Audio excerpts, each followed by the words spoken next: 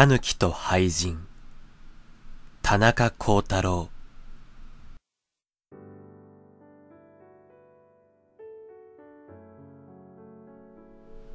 安永年間のことであった。伊勢大病の内宮領から下空領に至る裏道に柿で名のある蓮台寺という村があるがその村に沢田正蔵という人が住んでいた。正蔵はまたの名を長代と言い豪を六名と言って和歌をよくし俳句をよくした。ことに俳句の方ではその頃なかなか有名でその道の人々の間では一風変わったところのある俳人として知られていた。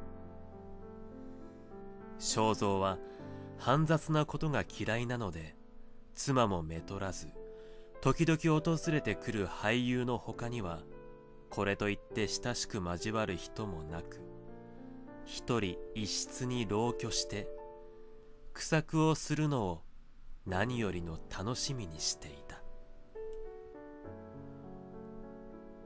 ある年の晩秋の夕べのことであった。いつものように渋茶をすすりながら苦作にふけっていた正蔵がふと見ると窓の障子へ怪しいものの影が映っていた。正蔵は不審に思ってつと窓の障子に手をかけたが誰か人だったら気恥ずかしい思いをするだろうと思ったのでそのまま庭先へ回って窓の外を見た。窓の外には一匹の古狸がうずくまっていたが狸は正蔵の姿を見ても別に逃げようともしないのみかかえって嬉しそうに尻尾を振るのであった。正蔵は今日あることに思って家の中から食べ物を持ってきて投げてやった。と狸はうまそうにそれを食ってから行ってしまった。そのあくる日の夕方も正蔵が所見をしているとまた窓の外へ狸が来てうずくまった。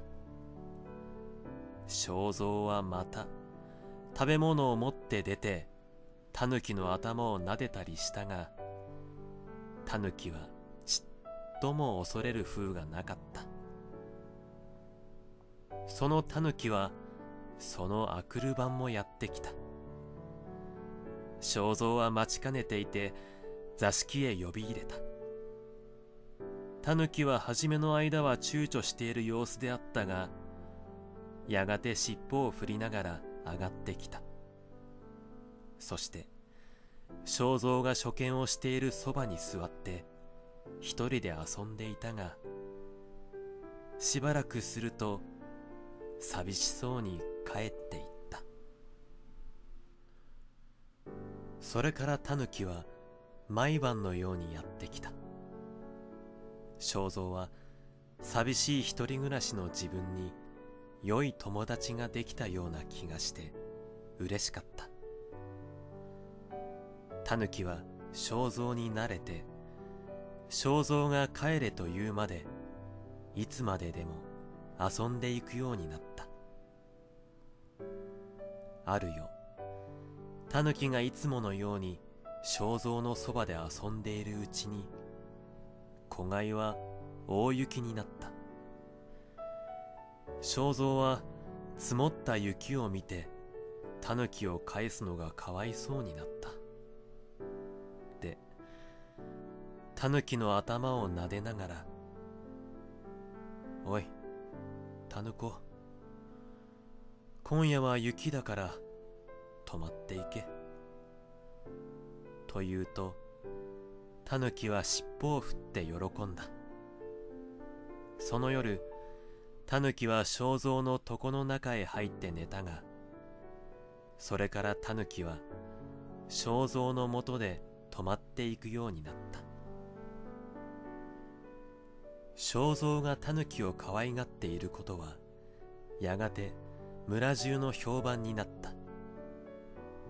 村人は時々夜の明け方などに正蔵の家から出て行く狸の姿を見ることがあったが互いに戒め合って危害を加えなかった。そして村の子供たちにも先生様の狸にいたずらしちゃいかんぞ。と言い言いした。ところでその肖像が病気になった。初めはちょっとした風であったがそれが高じて渋滞に陥った。村人たちは代わり代わり肖像の病気を見舞ったがその都度肖像の枕元に座っている。狸の首相な姿を見た。肖像は自分の病気が重なって長くないことを悟ったのである日その狸に言った。お前とも長らくの間仲良くしてきたがいよいよ別れなくてはならぬ日が来た。私がいなくなったらもうあまり人に姿を見せてはならんぞ。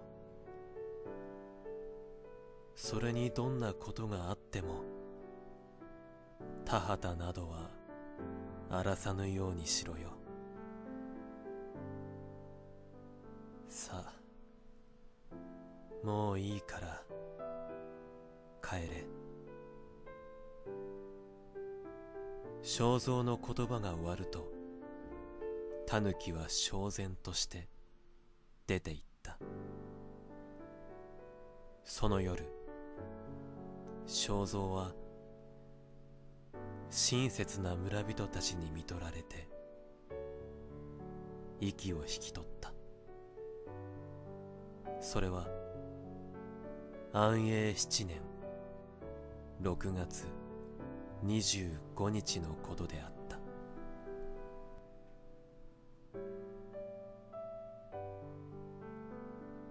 それから数日の後のことであった。一日の仕事を終わった村人の一人が家路に急ぎながら正蔵の墓のそば近くに来かかった時その墓の前にうずくまっている女の姿が目についた。その女は美しい着物を着て手に一束の草花を持っていた。そしてよく見ると女は泣いているらしく肩のあたりがかすかに震えていた。それはこの付近ではついぞ見かけたことのない女であった。村人は誰だろうと思って不審しながらそのそばへ行った。もし村人がこう言って声をかけた途端その女の姿は忽然と消えてしまった。そしてその傍らには女が手にしていた草花が落ちていた。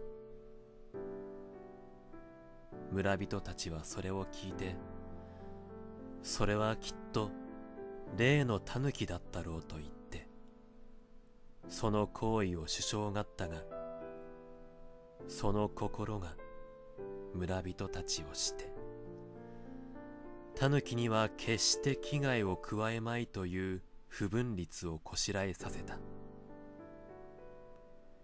地雷その村では今に至るまで狸は取らないことになった。